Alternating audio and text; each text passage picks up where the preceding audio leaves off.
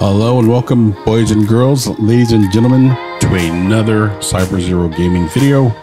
And today, yes, today we're going to be checking out my very first virtual conference, um, the IAE 2950 Expo. Yes, I, I, think that's an awesome time. So, as the guy in the elevator here with me, um, we're, we're probably both going to the same place. What's up, bro?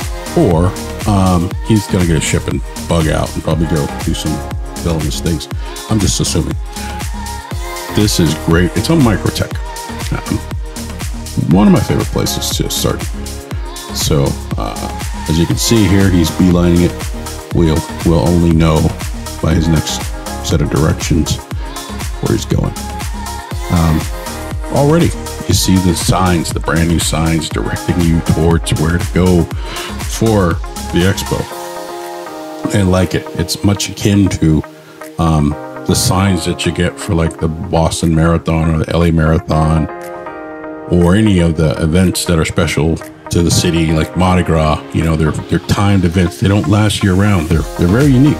So you get unique signs, usually uh, year by year, incrementally different. I love this color scheme. Beautiful, very easy, very noticeable. Um, also, informative. Let you know that the event's going to go from November 20th through December 2nd. And I'm going to try to put as much information out there as I can from my perspective as a brand new YouTuber and a brand new Star Citizen gamer. Um, I've been looking forward to this for quite some time. So, a couple things. I'm probably not going to go all in depth on a lot of the ships, uh, looking at different things. I'm mainly, this is my first day. So I want to, hey, see that guy's got the toy I've been looking for.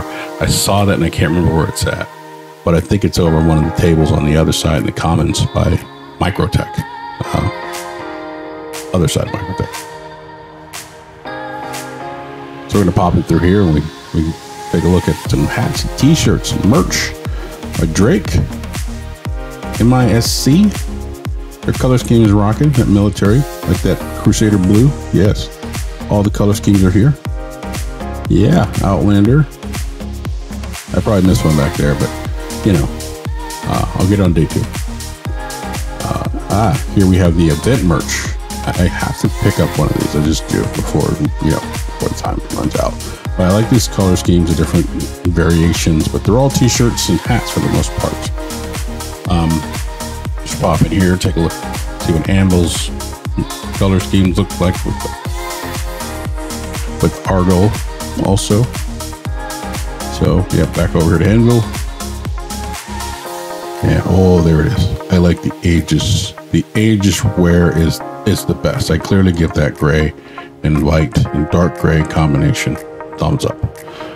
All right, so let's hit the uh, the elevator here and get on over to the rest of the expo.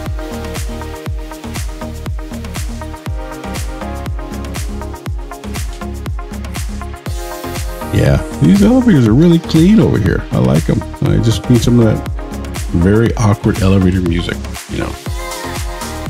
Not quite bound chicka wow wow, but not quite boom boom boom. Yeah, we need like some Cisco on hold music as the elevator music. If anybody knows what I'm talking about, you know that's a very old track that when you hear it on on hold, if you've been in IT for a while, it takes you back, like way back.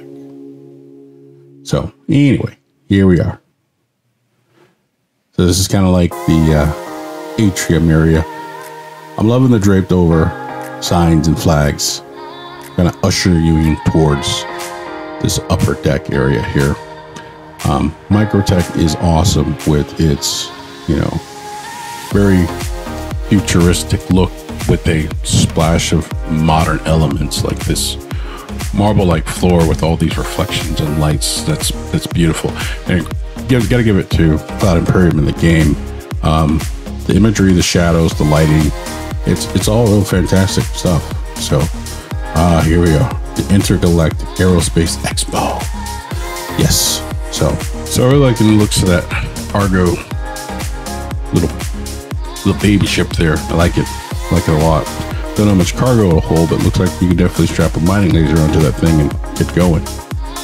Um, yeah, pop inside for a bit. So yeah, looks like you know a little bit of. Hey, there's that dude with the toy. Hey man. Hey. Yeah, that's a little.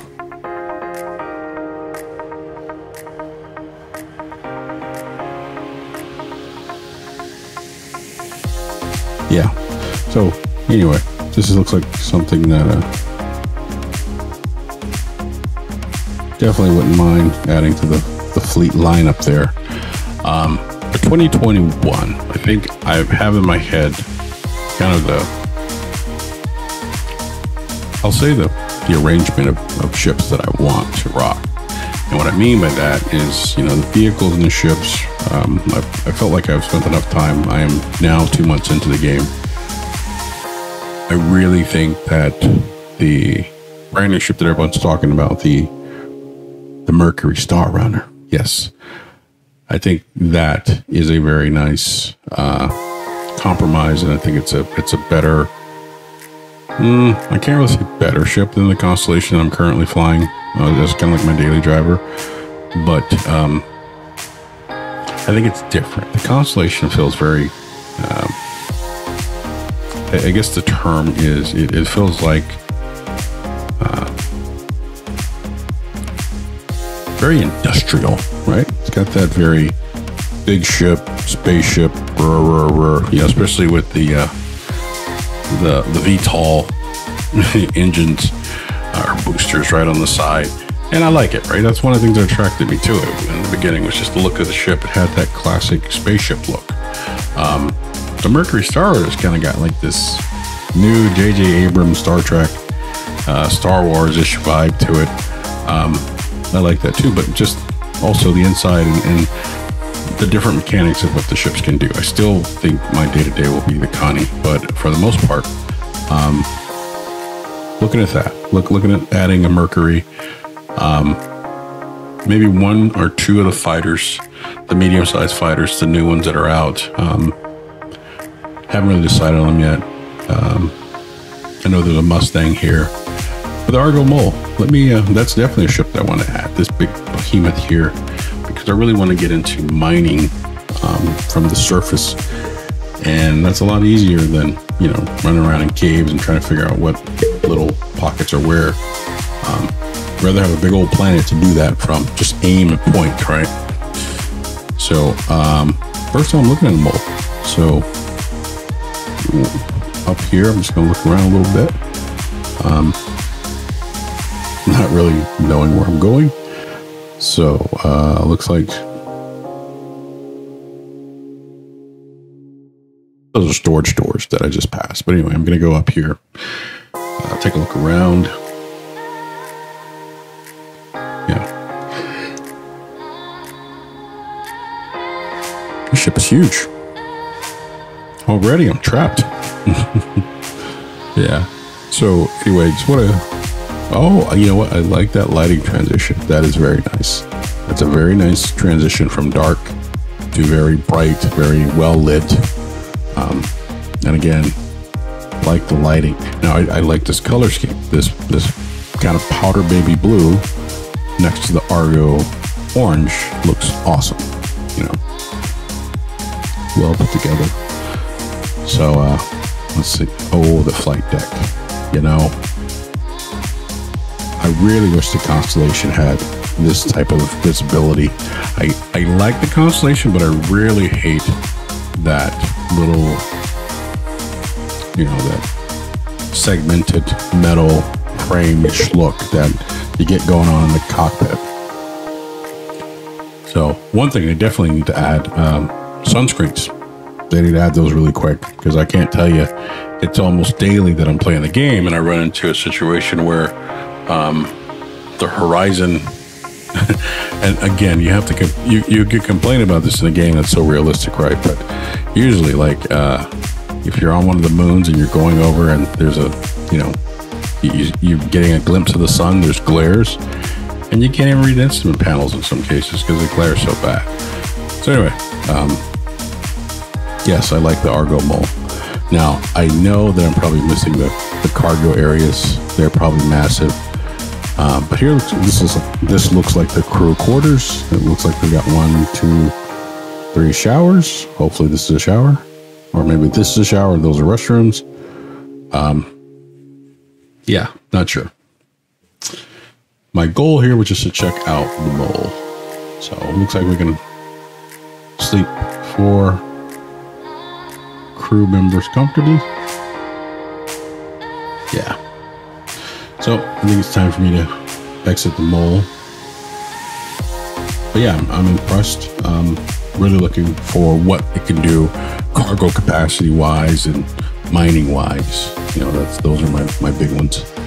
So um, also I see that you can operate the mining laser from the bottom like a turret bay. And I'm wondering now in my head, does that mean you need a pilot to kind of hover you away from everything while you're mining? Maybe you can do them both. I'll have to look that up. But so on the lower level here, um, we're already looking at one of the buggies that I currently own. Um, it's an awesome little little ride. I like it. Now, what I, I really like are these expo kind of you are here navigation mall like screens. Uh, it's perfect because you know it's it's a great little touch. Um, so this is something else that I want to purchase for 2021 is the ROC here. I want to get one of these for mining as well. So I think that'll round me out. So um, now, again, here's my problem. Can I stuff one of these in an Argo mole, stuff it with cargo, or put it back in the ship and then still use the more, you know, the, the overflow capacity, you know, for other things, right? That's the real question. Um,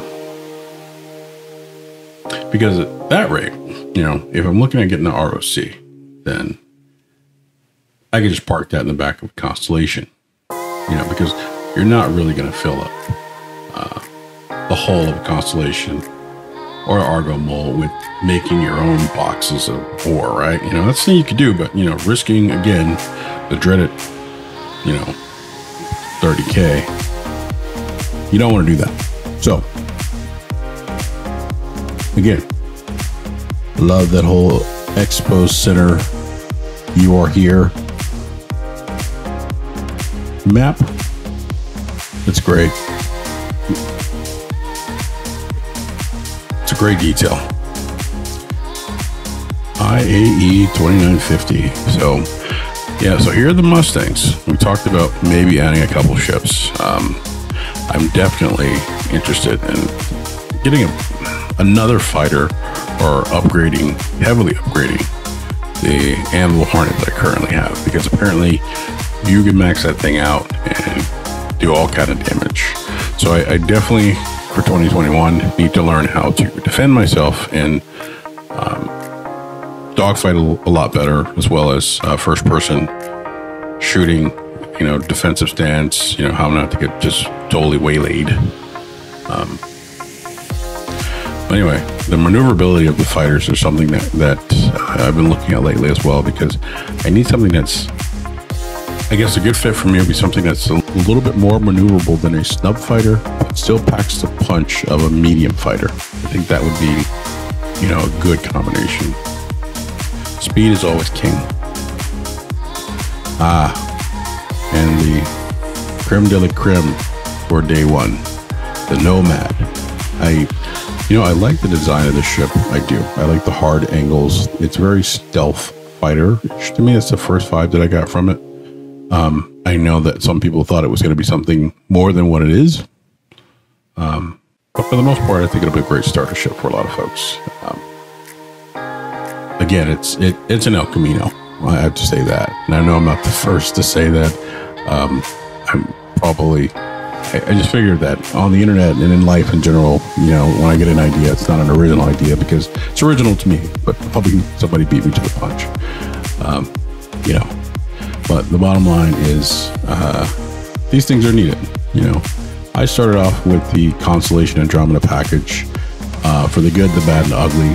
Uh, these games are, I guess, a different path than the starter fighters, you know, in those packages. But um, can't wait to see what they do with the Nomad. You know, as far as you know, its role in the game and seeing how people use it, seeing how it can be outfitted. Um, might take it for a spin.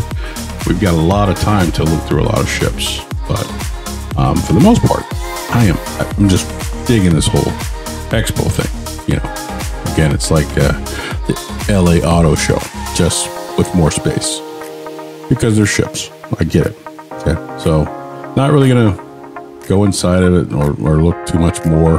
Um, gonna move on. So I think that's probably getting close to the end for day one here, if not the end. I think this is a great expo hall. I think they put a lot of time and effort into it. Um, Microtech's materials make this perfect. Uh, very reminiscent of, you know, those very grand convention centers. Mandalay Bay, you know, and other like convention center areas. Um, but like this lighting and this kind of naturescape that they have going on, that's very, very solid. You know, makes this whole thing look very, very real. So, but it's been a pretty good day one. So, I uh, definitely dig digging the IAE 2950 and all its exhibit halls. Uh, the the three that were the, the main hall and the two side halls. So um, I want to thank you so much for watching. If you like my content, please leave me some feedback. Um, thumbs up is well appreciated. And if you really liked it, go ahead and subscribe. I'm trying to push out these, you know, more quantity wise than schedule wise, if that makes sense. So when I can, you know, release two or three